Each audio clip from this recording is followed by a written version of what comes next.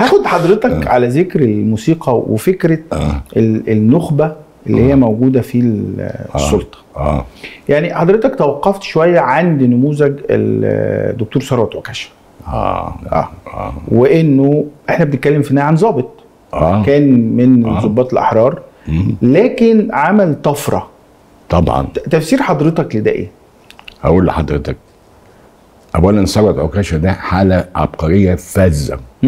يعني لا مثيل مم. فانا لما بتجول في أكاديمية الفنون لسه امبارح قعدت ألف على اللوحات الرخ... الرخامية اللي موجودة على كل اللي معهد. في الأكاديمية. آه في الأكاديمية. مم. تلاقي حضرتك كلها في عهد الرئيس جمال عبد الناصر كلف الرئيس جمال عبد الناصر. ثروت عكاشة بوضع حجر الاساس لهذا المبنى ثم هذا المبنى. فده وضع أساس صرح كبير جدا ومتين جدا في عصره وكان يضم كبار الأساتذة.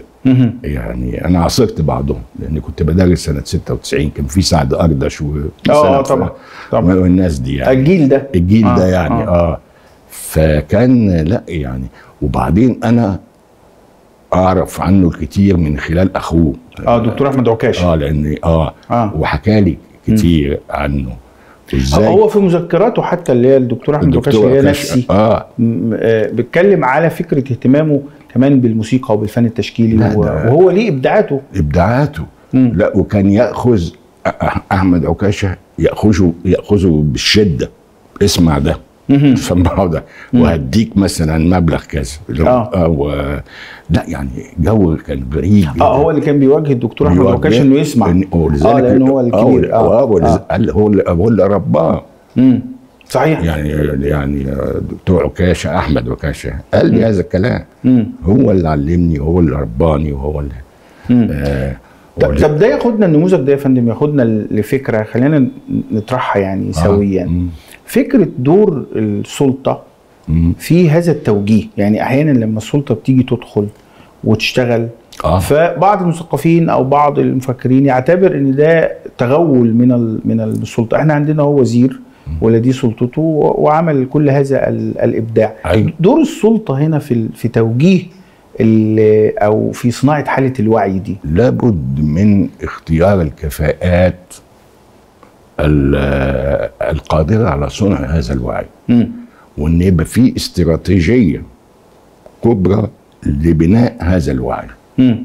يعني بتكلم عن الوعي آه، الفني والجمالي الوعي التاريخي الوعي السياسي الوعي الديني. الوعي العلمي ما ما اللي هو مثلا الوعي السياسي هي آه، هيأسس يعني إيه؟ يعلم الناس يعني إيه دولة مدنية مش دولة دينية. يعني وإيه هي الدولة الدينية دي؟ وإيه مساوئها ومخاطرها. إلى آخره. فأنا اقترحت هذا المحور على آه، في المعرض اللي فات. يبقى هو التيمة الرئيسية في معرض المعرض الكتاب. آه, آه. آه لأني كنت عضو في اللجنة العليا. مم. والحقيقة هم وافقوا على هذا. اللي هو اللي هو المحور بتاع الوعي. الوعي. ب- ب- بتجلياته المختلفة. مم. ديت. وأظن المعرض كان ناجح يعني السنة اللي فاتت. جداً، آه آه. كان ناجح جدا يعني. آه. الواحد يقول يعني الحقيقة. فبس بس المسألة مش مسألة تأسيس الوعي من خلال المعرض. مم. لأن المعرض هيعمل حالة وقتية. مم.